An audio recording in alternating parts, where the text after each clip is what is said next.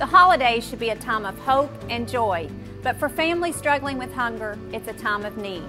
Please join Kroger in supporting Second Harvest Food Bank of Middle Tennessee this holiday season. Second Harvest is working to provide food for our hungry neighbors during this difficult time of year, but they need our help. For every dollar you give, Second Harvest can provide four meals. Give today and help put hope back on the table. Visit secondharvestmidtn.org.